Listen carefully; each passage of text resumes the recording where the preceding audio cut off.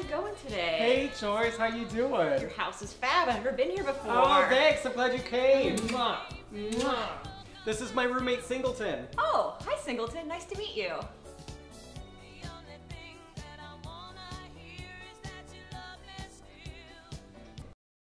Hey, I am starving. See if that pizza place is still open. Sure. Oh, they're closed.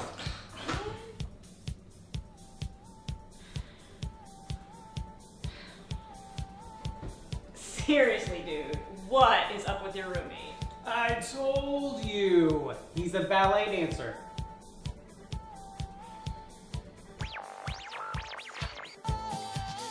So let's talk about communication. So communication styles is kind of like how people dress. People have different dressing styles. Some people are very loud with their style. Some people are very no nonsense. Some people are very dark and some people are very linear with plaids. Some people are very floral in their speech and their dress.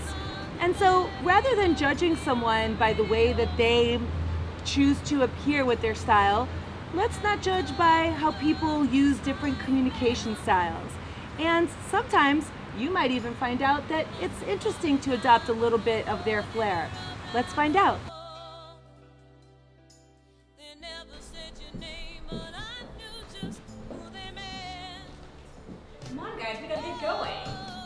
Hey, we're gonna make happy hour. Yes! Happy hour! I love it! Get my appletini. It's gonna go crazy. Come on, let's go. You're wasting time. Out!